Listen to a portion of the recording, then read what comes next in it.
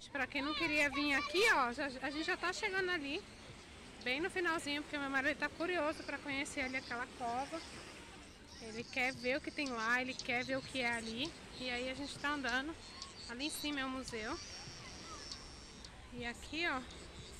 Aqui tem, tem menos pessoas. Como vocês podem ver, o solzinho já tá indo embora. Mas ainda tá bem agradável aqui.